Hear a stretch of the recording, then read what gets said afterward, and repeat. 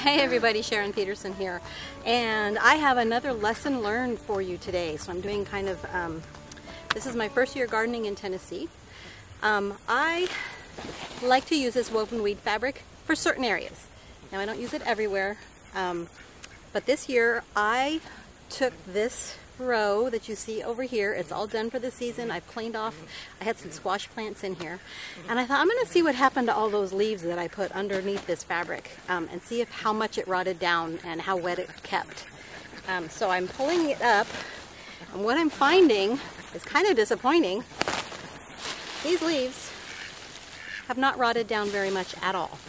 Um, they are a little bit, I will say. There is a little bit of dark dirt under here um, but not very much. So that tells me doing this, covering up a bunch of leaves or mulch or whatever you've got and covering it with this, assuming that it's going to be wet all year because now we live in Tennessee where it's moist and humid and it rains a lot. But this weed fabric must drain off more moisture than I realize because um, it's dry under here. Now, will I use the weave fabric in the future? Probably, because it does make maintaining my garden easier, but I'm going to be aware of it doesn't do anything for my soil.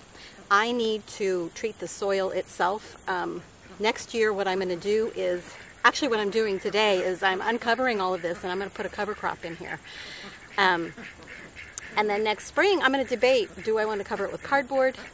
Um, do I want to use the weed fabric again? Because it does make maintaining my garden easier. So it's a tool. It is not a cure-all for fixing your soil, and I just thought I would point that out. I have to admit, I'm kind of disappointed. I was hoping that these leaves, which I put in here last fall, would rot down at least some, but it hasn't happened at all. I have areas over there where I put leaves similar to this, and um, it's all rotted down and it's almost gone, whereas this has just kind of maintained all year long. So lesson learned in my Tennessee garden and I hope this was helpful. Weed fabric is a tool, useful in some places. It's not a permanent thing and it's certainly not going to help your soil in the least. I hope this was helpful. You guys have a great day and um, follow and like and subscribe if you want to learn more lessons with me. We'll talk to you in the next video. Bye.